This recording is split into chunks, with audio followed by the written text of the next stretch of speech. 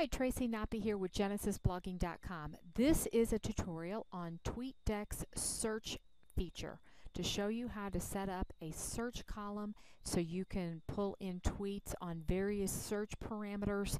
Um, and the beauty about the search is that you do not need to follow all of these people to um, search for, for a variety of different things. For example, you'll notice here that I have a search column set up for TweetDeck. I am not following all these people.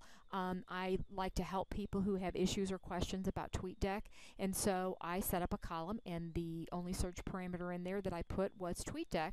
So any tweets that have the words TweetDeck in it will filter into this particular column.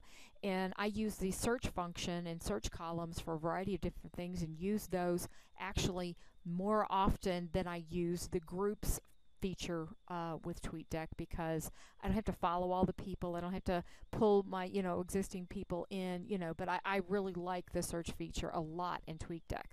So let me show you how that works. Um, you can use an and or an or in your search phrase. Say you want to have more than one word. Say you want to use, you know, two words. You can have, it has to have this word and this word, or you want this word or this word, or you could put something in quotes. For example, say you have a phrase that you want. Um,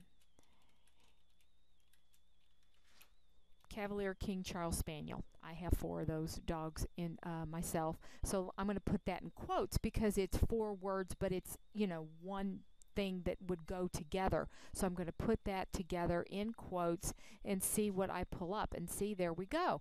Um, every tweet that has the phrase Cavalier King Charles Spaniel is going to pull into this particular thing and I can find people who have dogs the same breed as mine and um, I can find and follow people that way keep up with other you know Cavalier lovers on the web and you can do the same thing um, for any topic of interest that you have. It's a good way to, um, if you're in a particular niche, if you're an internet marketer or an affiliate marketer or you're in a particular line of work or business or whatever, to put in whatever your business niche is, um, to put that phrase in a search column in TweetDeck and pull that in and it will pull in if anybody's discussing that, it will pull that into a column and you can kind of monitor um, the traffic and tweet activity um, in your particular niche. So it works out really well. Um, you don't necessarily need to do that for your name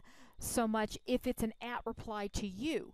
But if it is your name not in an at reply, just your name spelt out, not with the at sign in front of it like your Twitter username, then you would need to do a search column if you're doing like a vanity type search and you're kind of monitoring, um, you know, tweets or something about you if you're that type of person that you know you're doing a customer service say you're you know you're uh, branding yourself as a business or something and you're needing to monitor customer service or if you're like a community manager or a customer service representative for a company, um, you can put in your company's product or their name or something like that in a search column for um, in, in TweetDeck and monitor that activity so you can keep up um, with what people are saying about your business so you can stay on top of your customer service. And um, anyway, that's that's in a nutshell how you use the search function on TweetDeck. Very, very simple.